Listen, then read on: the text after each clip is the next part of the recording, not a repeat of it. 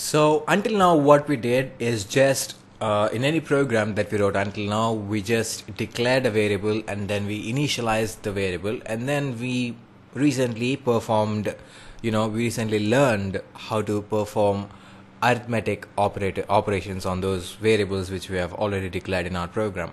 But this will not be the case uh, for for for every program that you will be writing. Because obviously uh, for any program that you will write uh, in the future or from now on will need to take an input from the user so that your program can actually process this input and it can produce the output. It can do the functionality that it does that it is meant to do and then it produces the output. So uh, for example um, let's just take an example. Let's say you are wanting to build a calculator. So what would a calculator do? First of all it takes the input from the user. It takes uh, whether the user wants to uh, calculate the sum or the product or the subtraction i mean the difference or the div- div- div- division of a number. So basically what we are taking here is user input. We are taking two inputs here. First of all, we are taking numbers from the user and then we are also taking the operation to be performed. For example, we are taking either a plus or minus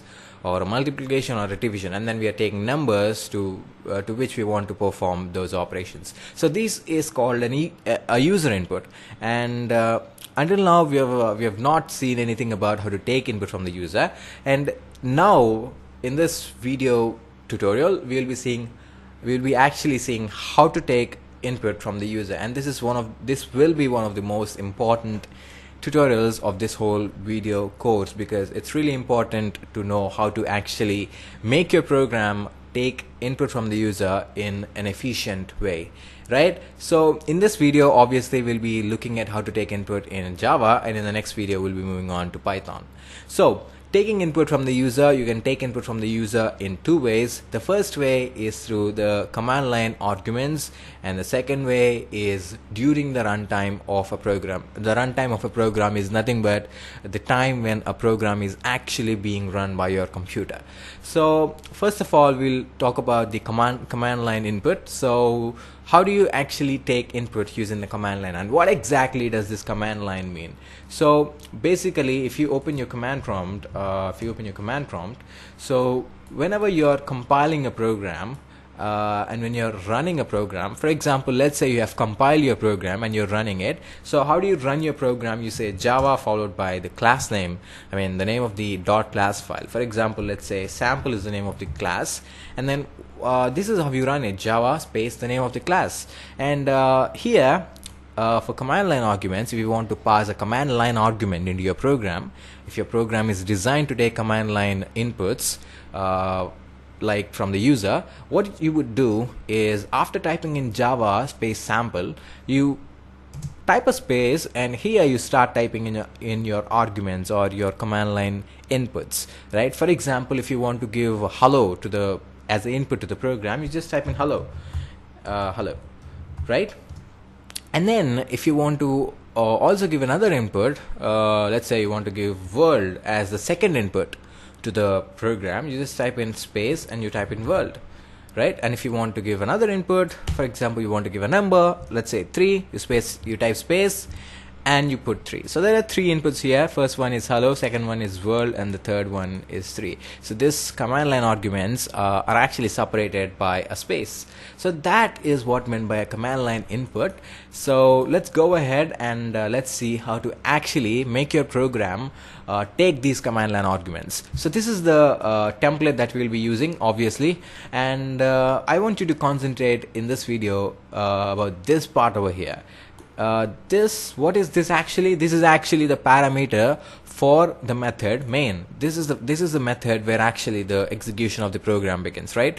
So string args is actually the parameters uh, parameter. Actually this is just one parameter that we are actually passing you know to this main method.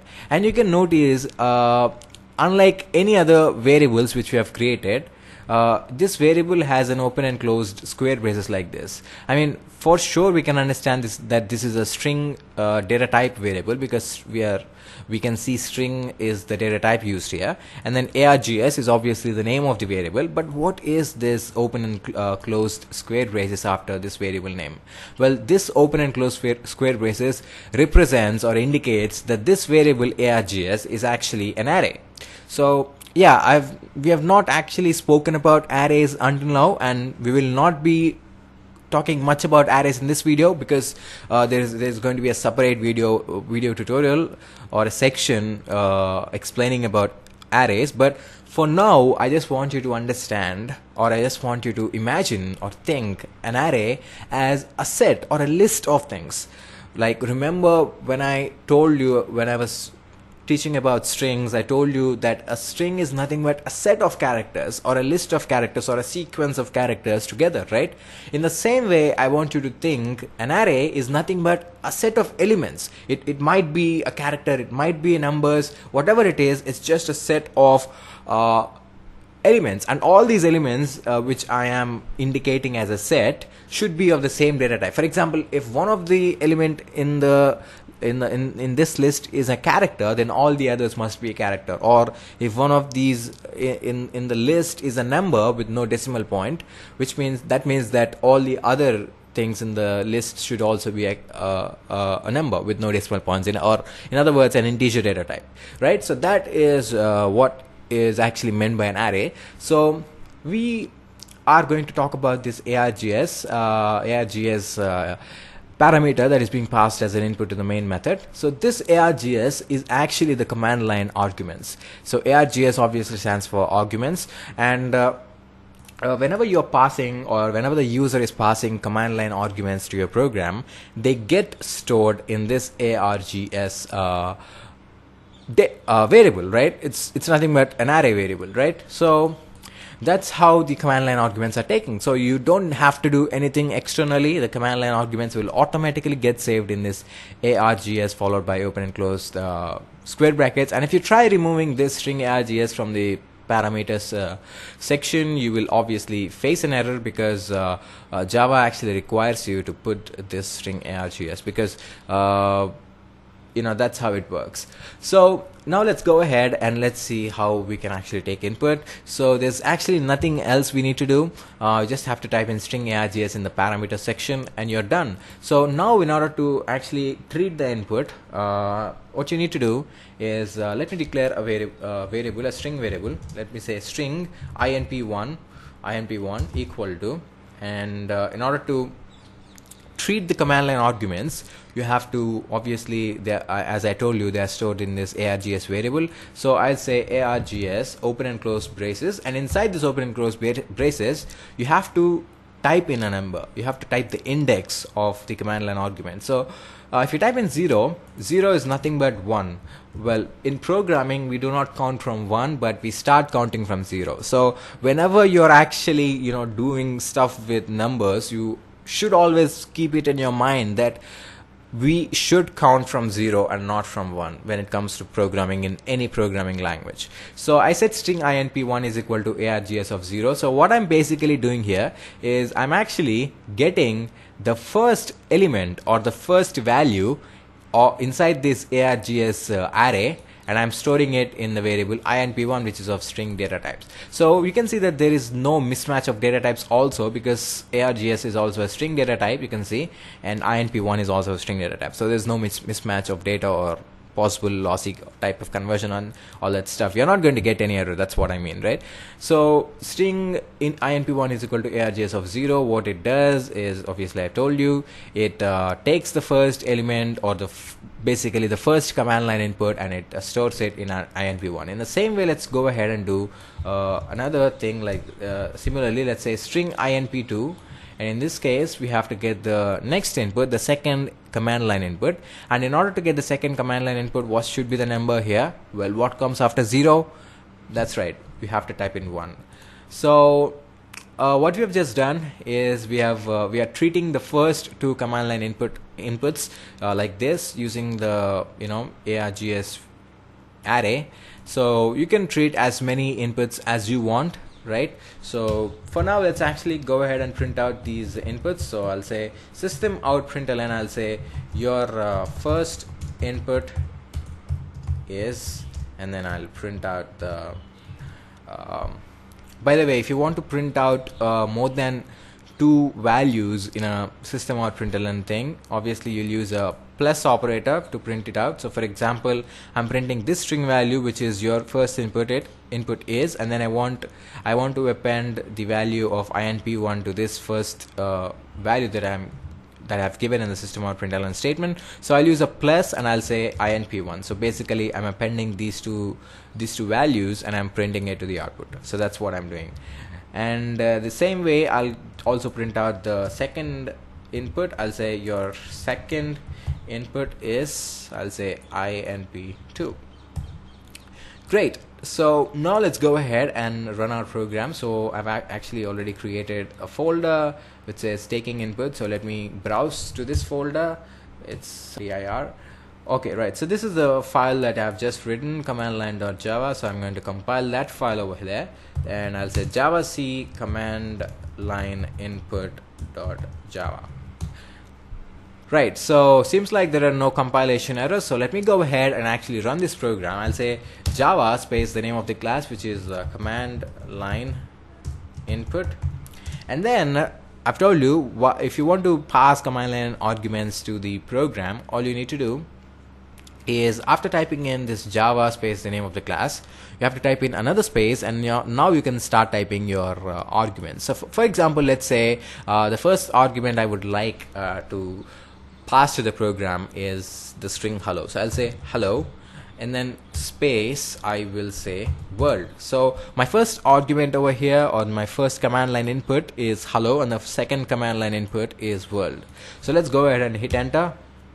Um, there we go. It says your first input is hello. So it obviously is able to treat hello as the first input and it says second input is world so it took this as a second input. Just the way we want things to work right? So in the same way you if you want to add a third you know command line argument you can say string uh, another another variable you can declare like that string inp3 and you just say 2 so if you want to take the third command line input you just type in args of 2 and in the same way you can you can treat that variable as well separately or the way you wish right? So that's how you actually take uh, inputs from uh, using the command line arguments method. And uh, obviously if you obviously you can see that uh, this args array is a string data type array. So that means the command line arguments that you're going to pass to your program should uh, will always be taken as a string. So no matter if you're submitting a number in these command line arguments they will always be uh, taken as a string. But later you can come ahead and uh, convert these into an integer. For example let's say let's say i want to you know i don't know add two numbers right add two numbers. So I'll have two command line inputs. The first number let's say the first number is inp1 and the second number is inp2 so they are being treated as strings. So obviously if we add a string let's say let's say we have I don't know let's say we have uh, 4 as a string and let's say we also have uh, 2 as a string right? So if you actually add these two values so for example inp1 is 4 and inp2 uh, is 2 and both these are obviously string data types as you can say by the double quotes right? So if you want to if you are writing a program to add these two numbers which which are taken as input through the command line arguments and if you directly without converting it into an integer add these two just like that what would be the output? It will not be 6 but it will be 42 because that's how strings are appended. This is a string not an integer. So when you are adding two strings they are just going to be appended right? So this thing is going to get appended to this which means it's going to be added to the end of this string. That's it. So that's why you will have 42 so obviously we don't want that to happen. So what we'll be doing is we will uh, be actually converting uh, this string into an integer. So in order to convert it into an integer you know let's say int a is the first number and in order to convert inp1 which is a string data type into an integer data type all you, to, all you need to do is actually uh, use the function integer dot parse int and uh, open and close parenthesis and inside this open and close parenthesis you need to type in the inp 1 which is basically uh, we are actually sending inp1 as the parameter to this function parseInt. So integer is basically the class for the integer data type that we are using. And this is obviously predefined. It comes predefined in Java and parseInt is actually the function which is defined in integer class.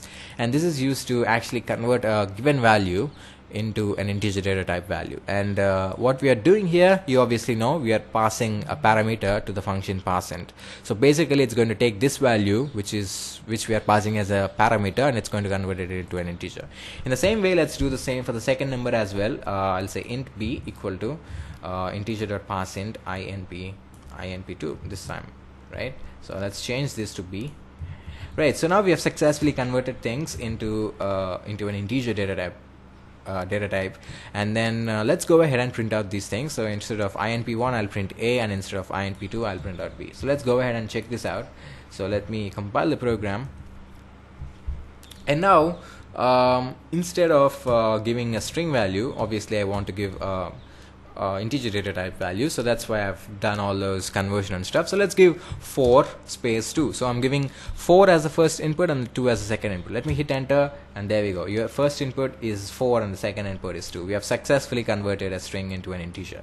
So in the same way if you want to convert it into a double you just uh, replace int with double here. You just use parse uh, double. And obviously while doing that you want to make sure that your data type is actually double. So in that way you can actually convert a string into an integer uh, if you're taking inputs from command line because command line always treats the input as a string. So yeah. So that's all about command line inputs. And uh, in the next video we will be talking about how to take inputs during the runtime of a program